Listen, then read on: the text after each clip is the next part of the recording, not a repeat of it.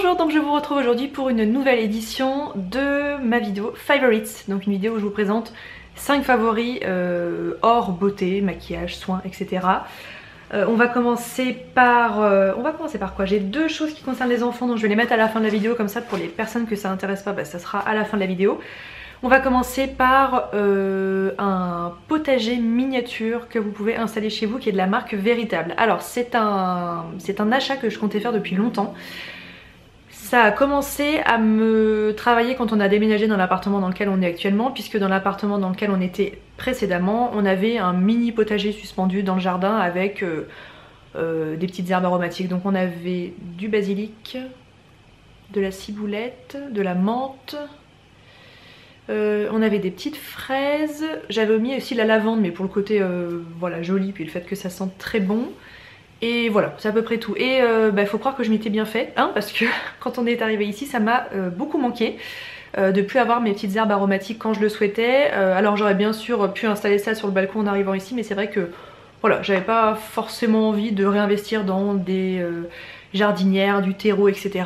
Et euh, j'avais eu l'idée de ces petits potagers euh, miniatures que vous pouvez donc installer chez vous. Je vous mets une photo sur l'écran pour vous montrer à quoi ressemble le fameux de chez euh, Véritable. J'avais mis d'ailleurs ça sur ma wishlist sur Pinterest et je m'étais dit quand j'aurai déménagé j'achèterai ça parce que ça prend pas une taille incroyable mais c'est pas non plus complètement compact donc il faut avoir un peu d'espace. Et puis alors il y a plusieurs sociétés qui, proposent ce système de... de J'essaye de trouver un potager d'intérieur, voilà je crois que je vais finir par appeler ça comme ça, on va dire un potager d'intérieur.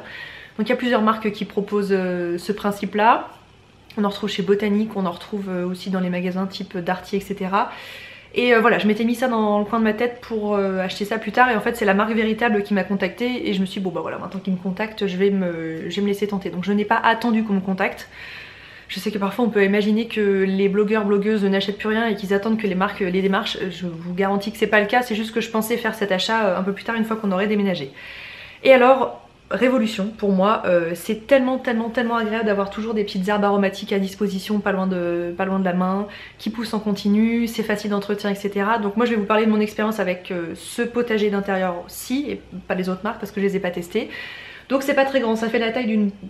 Oui c'est pas immense, ça fait la taille d'une boîte à chaussures avec euh, la, lampe du coup qui est avec des LED je crois qui se... Euh, je vous incruste un des petits plans pour vous montrer à quoi ça ressemble, je suis en train de le regarder pour vous le décrire. Donc une lampe avec des LED qui se monte et qui se descend en fonction de la hauteur des tiges que vous allez planter. Euh, vous achetez des sortes de cartouches de terreau qui sont prêts ensemencés je crois que c'est ça le mot, avec les graines euh, de la plante que vous avez choisie, etc. Donc il y a plein plein plein plein de choix possibles. Vous pouvez opter pour des mini poivrons, des mini tomates, des fraises. Euh, moi je suis vraiment restée sur euh, un principe d'herbe aromatique assez simple. Et donc vous avez quatre cartouches, donc quatre, quatre plantes différentes que vous pouvez planter les unes à côté des autres. Et le but du jeu c'est d'opter pour celle dont vous allez vous servir vraiment au quotidien. Donc moi j'ai quand même quatre herbes aromatiques dont je me sers beaucoup. C'est la ciboulette, le basilic, le persil et la menthe. Voilà. Euh, la ciboulette, j'en mets beaucoup dans beaucoup beaucoup de mes salades. Euh, quand je fais des pâtes, euh, j'en mets aussi. Enfin voilà, c'est une, herbe que j'aime beaucoup. Le basilic, bah voilà, sans surprise, faire du pesto maison sur une petite tomate coupée, même une tomate toute simple avec juste un filet d'huile d'olive, vous mettez du basilic frais avec, c'est un, délice. Avec des pâtes fraîches, j'adore sur une pizza, etc. Le persil, ça va dans plein plein plein de recettes différentes. Euh, vous faites un cake salé, vous mettez du persil dedans, euh, une petite salade de pommes de terre avec du persil, euh, des haricots avec du persil, enfin voilà, ça fonctionne hyper bien. Et la menthe, bah voilà, moi la menthe c'est ma passion, déjà pour les moritos, ou Virgin Morito d'ailleurs, ça fonctionne très très bien.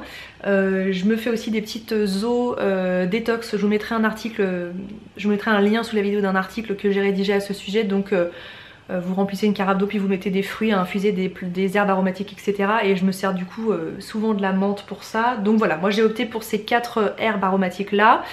Alors à l'usage comment ça se passe? Vous mettez les cartouches dans leurs différents réceptacles et puis vous avez ensuite un niveau d'eau qui est à remplir avec une sorte de flotteur au-dessus. Donc vous savez à chaque fois quand vous voyez le flotteur baisser qu'il faut juste rajouter de l'eau. Mais donc vous arrosez une fois pour les quatre compartiments et euh, ça va venir mouiller la terre par le dessous et donc euh, voilà ça sera vraiment euh, un, taux d'arrosage, un taux d'humidité de la terre qui va être constant donc ça c'est très intéressant. donc c'est extrêmement facile d'entretien. Le seul petit défaut que je peux lui trouver c'est que vous n'avez pas d'interrupteur en fait pour la, fameuse lumière LED, donc cette lumière elle va aider bien sûr la plante à se développer. Comme vous le savez ici on dort dans la même pièce que celle dans laquelle on vit, donc voilà là-bas il y a la cuisine, Ici il y a le salon, là il y a mon bureau et je suis assise sur mon lit et euh, notre fille a sa chambre mais voilà nous on est tous les deux dans la même pièce toute la journée. Quand on va se coucher le soir moi j'aimerais bien juste avoir un interrupteur sur, la, sur le petit potager, ça n'existe pas en tout cas pas pour le moment donc il faut débrancher la prise. Sachant qu'à partir du moment où vous branchez la prise je crois que la lampe reste allumée pendant, je voudrais pas vous dire de bêtises, 16 ou 18 heures et elle va venir s'éteindre euh, au bout de ces 16 ou 18 heures. Donc vous pouvez vraiment trouver un rythme jour-nuit si vous l'enclenchez euh, la première fois au bon moment. Mais euh, voilà, nous on la, débranche le soir juste avant d'aller se coucher et on la rebranche le matin quand on part travailler. Donc c'est beaucoup plus que 6 ou 8 heures entre ces deux intervalles là. Donc voilà, un petit bouton aurait été le bienvenu mais c'est une petite critique. c'est très facile d'utilisation, voilà moi je pas du tout la main verte mais franchement vous n'avez rien d'autre à faire que surveiller si ce fameux flotteur est au bon niveau. C'est très agréable d'avoir des aromates, des plantes euh, à disposition, donc vraiment fraîches, c'est-à-dire que le basilic vous le coupez juste et puis vous le mettez dans votre assiette, donc ça c'est très agréable. Euh, j'ai juste un petit problème avec la ciboulette qui ne prend pas, voilà, pourtant j'ai bien fait tout ce qu'il fallait, j'ai bien mis les plantes dans l'ordre comme on me l'avait conseillé, mais euh, voilà, elle prend pas ou très peu.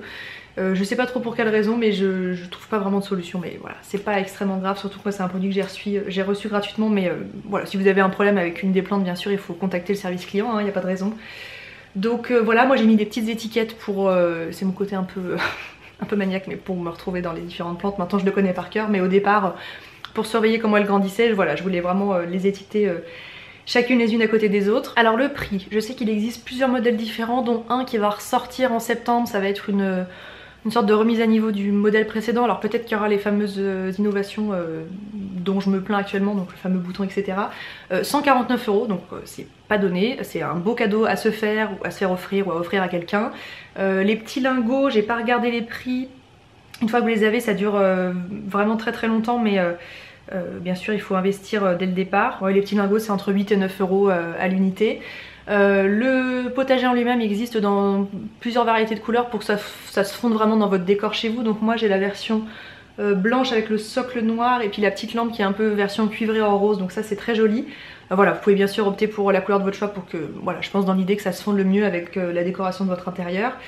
Et voilà, pour nous euh, c'est quelque chose qu'on aime beaucoup, dont on sert au quotidien. Je voulais vous en parler parce que, en, voilà, en toute objectivité, je suis très très contente de ce produit. Si comme moi vous aimez bien les herbes aromatiques, c'est quelque chose qui peut éventuellement vous plaire. On va continuer avec euh, un documentaire sur euh, Netflix. Donc vous avez peut-être entendu parler de l'histoire Maddie, Madeleine McCann, en 2007 de mémoire, une, une jeune anglaise, la petite elle avait deux ans et demi ou trois ans, qui a été enlevée euh, pendant des vacances au Portugal qu'elle passait avec ses frères jumeaux et ses parents.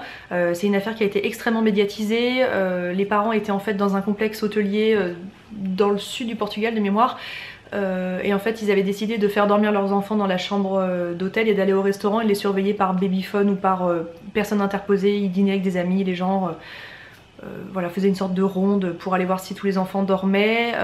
voilà, un contexte un peu, un peu étrange et en fait la petite a été enlevée par des ravisseurs, par un réseau pédophile, l'histoire n'est pas encore euh, classée à ce jour, donc c'est euh, un fait divers qui a fait beaucoup beaucoup de bruit parce que je crois que bien sûr tout le monde pouvait s'identifier dans cette histoire qui était vraiment tragique et à ce jour, donc 12 ans après, la petite Madeleine n'a toujours pas été retrouvée. Donc il y a beaucoup beaucoup de livres qui ont été écrits, euh, des livres qui ont été euh, d'ailleurs écrits, supprimés de la vente parce que euh, la famille avait porté plainte, etc. Enfin bref, c'est une histoire qui est très sombre. Et Netflix a donc réalisé un documentaire complet qui fait 8 ou 9 épisodes. chaque épisode dure entre 45 et 50 minutes et ça revient en détail sur l'intégralité de l'affaire, donc le jour de la disparition, les erreurs de... qui ont été commises tout au long de l'enquête criminelle, euh, les différents suspects, les différents témoins, les différentes pistes qui ont été abordées. Alors euh, voilà, le documentaire vous apporte pas euh, une réponse à la fin en vous disant bah voilà Madeleine elle est arrivée là, elle est vivante, elle est décédée, bref. On en reste toujours au stade où on en est, c'est-à-dire qu'aujourd'hui l'affaire est classée mais le dossier peut être bien sûr réouvert pour peu qu'on trouve des preuves d'une façon ou d'une autre. Donc voilà, le documentaire vous apporte pas une, solution, vous restez avec beaucoup de doutes à la fin. Ça passe en revue aussi les erreurs qui ont été faites euh, au niveau de la police, euh, la scène d'enlèvement qui a été euh, un peu piétinée, pas forcément mis des scellés qui n'ont pas forcément été faits, etc. Donc c'est quelque chose qui est très intéressant, un contexte qui est quand même difficile si comme moi vous avez des enfants, euh, c'est compliqué à regarder parce que vous pouvez pas vous empêcher de vous identifier euh, à cette famille. Donc c'est très dur mais ça permet aussi de savoir que bah voilà, les enlèvements d'enfants, les ravisseurs, etc. ça existe et qu'il euh, faut faire hyper attention. Donc c'est un documentaire qui est bien tourné, qui vire pas vers le pathos, on est vraiment du côté de l'enquête criminelle. Avec voilà, tout le déroulé de l'enquête, qu'est-ce qu'on fait, la fermeture des frontières, les contrôles aux frontières, les contrôles de police, etc. C'est très intéressant. Et euh, si vous aimez comme moi tout ce qui est euh, fait divers, etc., ça pourrait vous plaire. Donc euh, voilà, il faut avoir Netflix, bien sûr. Je peux vous parler que des choses que je regarde. Et moi, je suis abonnée à Netflix depuis très longtemps. C'est un abonnement qu'on apprécie beaucoup à la maison, autant pour les séries que pour ce type de reportage ou même pour les films. Donc voilà, je vous invite à le regarder si vous êtes abonné Netflix. Ensuite, alors un favori qui sort de nulle part. pour la petite histoire, quand j'ai préparé les concours d'infirmière en 2000 7, je préparais également les concours pour rentrer en école d'orthophoniste. J'avais un projet à ce moment-là, c'était de devenir soit orthophoniste soit infirmière et mon choix s'est fait euh, un peu à la dernière minute et euh, bah, écoutez le choix était le bon puisque je suis très contente de, mon métier et voilà je me verrais pas faire autre chose euh, à l'heure actuelle j'aurais peut-être été très heureuse en tant qu'orthophoniste mais ça je ne le saurais jamais bref pendant les concours paramédicaux vous avez très souvent des tests psychotechniques donc ce sont des tests euh, type mastermind, suite logique, etc. Clairement pour faire du tri parmi euh, la quantité astronomique d'étudiants qui se présentent au concours. Donc ça permet de vous faire réfléchir vite et bien, de voir si vous avez un esprit d'éduction, un esprit euh, de compréhension qui est bien, bien aiguisé. Et donc ce sont des tests auxquels on vous entraîne en, en prépa ou auxquels vous pouvez vous entraîner vous-même de toute façon juste avant de passer ces concours. Donc comme je vous disais, il y avait des masterminds, des suites logiques, des sudoku, des choses comme ça. Et euh, quelque chose qui s'appelle, alors je ne savais plus que ça s'appelait comme ça, mais ça s'appelle des nonogrammes. En tout cas c'est le nom de l'application que j'ai trouvé euh, sur mon téléphone. Alors nonogramme, euh, je vais vous montrer tout de suite à quoi ça ressemble. Voilà, ça ressemble à ça.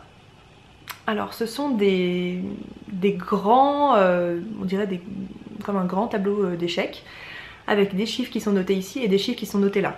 Euh, je vais vous mettre une miniature sur l'écran tout de suite pour que ça soit plus clair euh, pour vous parler au fur et à mesure du truc. Alors c'est un peu le même style que les sudoku etc. Euh, ce sont des, sortes de petits casse-têtes qui à la fin vous permettent de recréer une sorte de dessin. Donc en fait vous avez des chiffres comme vous le voyez à l'horizontale et des chiffres à la verticale. Quand vous voyez par exemple 3 et 2, ça signifie que vous avez trois cases noires côte à côte et un peu plus loin, donc avec forcément une case blanche entre les deux, deux cases noires. C'est un peu compliqué à expliquer donc je vous invite peut-être à télécharger cette fameuse application que j'ai sur iPhone qui est gratuite hein, et qui s'appelle donc Nonogramme. Euh, donc après il faut faire la déduction, si vous avez trois cases qui sont noircies ici, ça veut dire que dans l'autre sens il faut qu'elles correspondent aussi avec l'horizontal et le vertical, c'est très compliqué à expliquer. Bref ça ressemble beaucoup au sudoku sauf qu'il n'y a, pas de, a pas de chiffres à inscrire, ce ne sont que des cases à noircir. Et puis au fur et à mesure que vous remplissez les cases, vous arrivez à définir où sont les cases noires et où sont les cases vides. Et à la fin, ça vous crée une sorte de dessin. Le dessin, c'est un peu la finalité, hein. ça, rajoute pas grand chose à l'exercice. C'est plus pour, euh, avoir une finalité.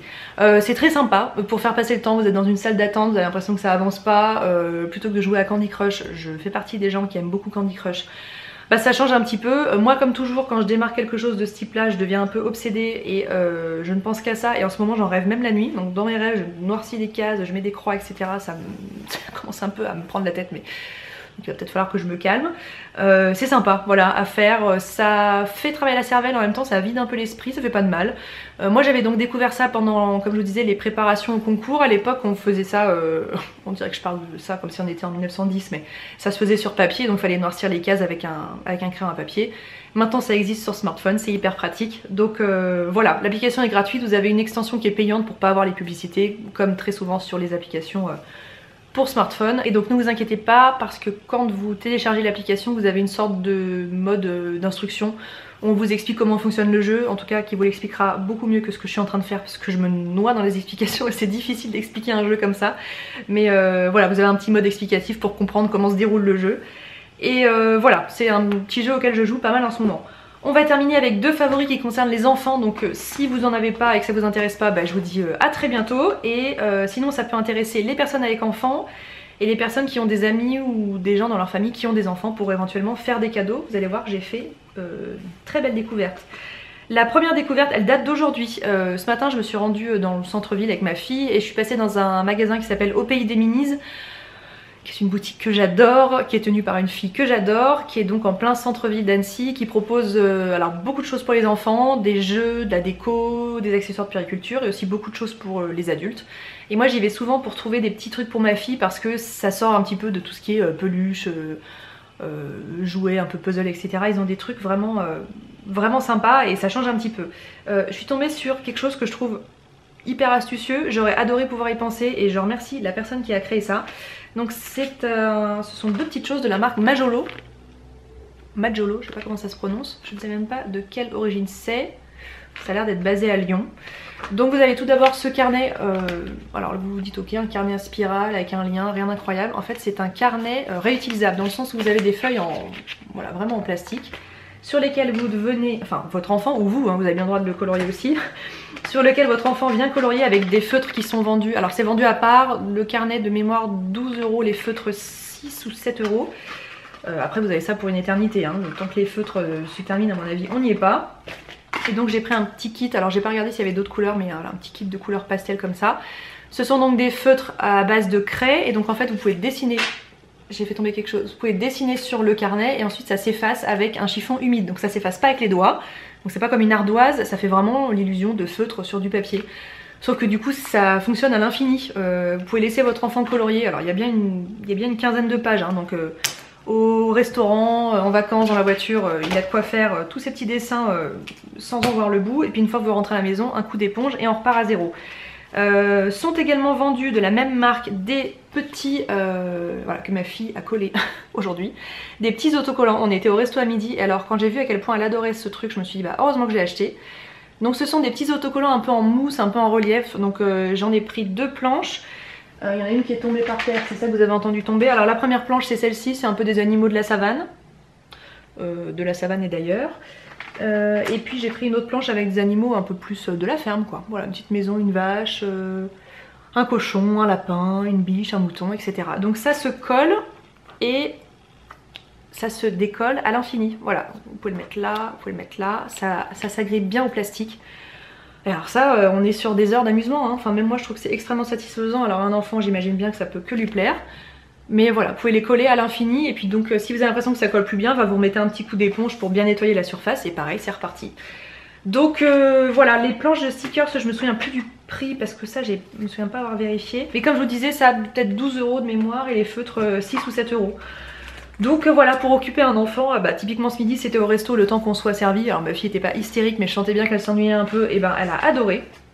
Donc voilà, ça peut convenir à mon avis à des enfants de pas mal d'âges différents parce que je crois qu'on aime quand même euh, faire du dessin pendant pas mal de temps. Donc euh, voilà, je voulais vous partager ce bon plan.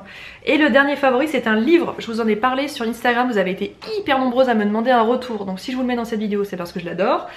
Donc c'est le livre euh, J'ai tout essayé de Isabelle Filiosa qui est une femme qui est très très très connue dans le domaine de la psychologie de l'enfant, du développement de l'enfant, etc. Euh, une dame qui fait je crois même des conférences, qui a écrit des dizaines de livres, c'est un peu la, papesse de la parentalité en général.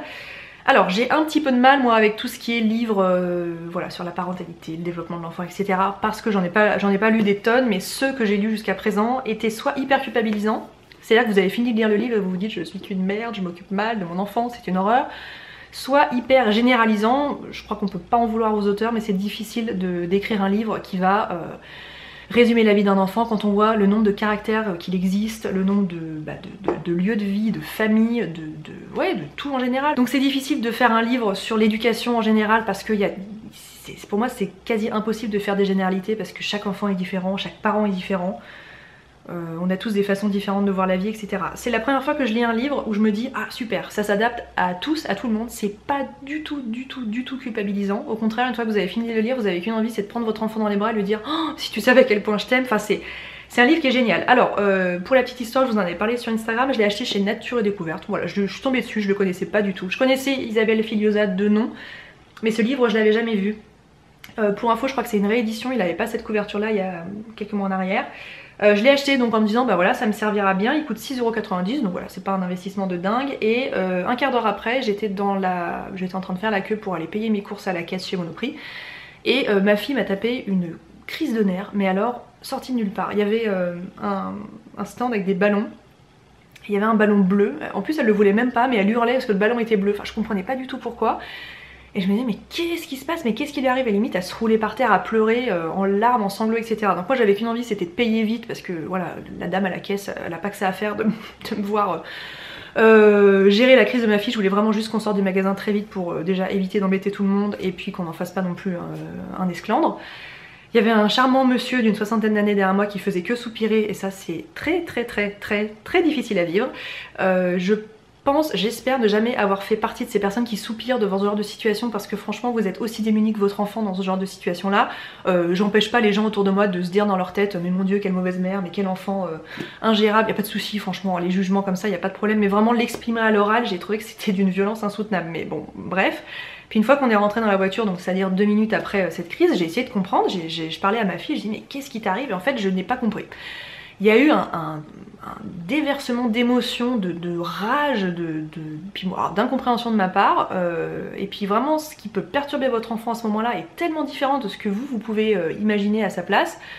Alors je sais pas ce que le ballon bleu avait fait, je sais pas ce qui se passait dans sa tête, mais ça avait l'air d'être assez insoutenable. Et euh, je me suis dit, bah voilà, un achat qui tombe à pic, parce qu'elle m'avait jamais fait quelque chose de ce genre-là. Et le bouquin donc était dans mon sac depuis 10 minutes. Donc je me suis dit, bon, bah voilà, euh, un bon achat. vous pouvez l'acheter dès que votre enfant a un an, parce que vraiment, on commence à parler du développement de l'enfant à partir de 12, de 12 mois. Donc euh, de 12 à 18 mois, c'est vraiment par catégorie. De 12 à 18 mois, c'est la période du nom des parents. La période de 18 à 24 mois, c'est la période du nom des enfants. Et puis on vous explique comment ça se passe dans le cerveau d'un enfant. Je vous donne quelques petits exemples euh, tirés du livre. Par exemple, il y a un âge où vous dites à un enfant non, ne touche pas à la porte. Quand vous dites non, ne touche pas à la porte, il y a un âge où votre enfant va comprendre touche à la porte. Voilà, c'est comme ça dans son cerveau, on peut pas faire autrement. Donc lui, il aura qu'une envie, c'est de toucher la porte, parce qu'il n'aura pas compris la négation. Il y a aussi un âge où quand vous expliquez à un enfant de ne pas faire une chose, il sera physiologiquement obligé de la faire pour comprendre qu'il faut pas la faire. Alors, on s'entend bien, quand vous lui dites touche pas la cheminée parce que le feu ça brûle, il euh, faut pas le laisser mettre la main dans la cheminée. c'est pas, pas du tout ce que je suis en train de dire. Mais peut-être lui faire comprendre, tu vois, quand tu t'approches, tu sens que c'est chaud, quand c'est chaud c'est dangereux, qu'il faut pas toucher, etc. Là, comme je vous le dis, ça paraît hyper simple, mais en vrai, il faut quand même qu'on vous le dise avant que vous le sachiez, parce que moi, j'avais pas vraiment conscience de tout ça. Bref, ce livre, il vous donne, des... il vous donne un guide, il vous donne euh, une impulsion pour essayer de comprendre votre enfant. Pour autant, j'ai pas encore trouvé toutes les réponses pour tous les problèmes qui peuvent être en rapport avec ma fille ou qu'elle peut rencontrer, etc. Mais ça vous donne vraiment des pistes euh, et de vrais, vrais bons conseils euh, calqués sur des situations réelles. Il n'y a pas de il faut pas faire ci, il faut pas dire ça, il faut faire ça. Vous avez vraiment des cas concrets.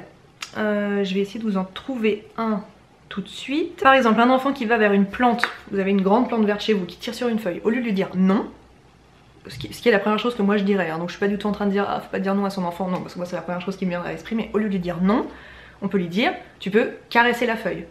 Tu vois, tu fais une caresse comme ça à l'arbre, comme ça, ça lui fait pas mal. Ça détourne son attention, ça lui évite de tirer sur l'arbre, et puis pour autant, il aura quand même été en contact avec cette plante qu'il avait probablement envie de toucher, et voilà, tout le monde est content. Par exemple, un enfant qui est en train de traverser la route, au lieu de lui dire non, tu ne vas pas sur la route, tu lui dis bah non, reste sur le trottoir. Voilà, pareil, peut-être que dit à l'oral comme ça, ça paraît stupide, mais euh, plutôt que d'interdire quelque chose, plutôt l'engager à faire une autre qui lui empêchera du coup de faire ce que vous voulez pas qu'il fasse. Voilà, ce livre est vraiment génial. Je vous montre un peu comment c'est fait à l'intérieur.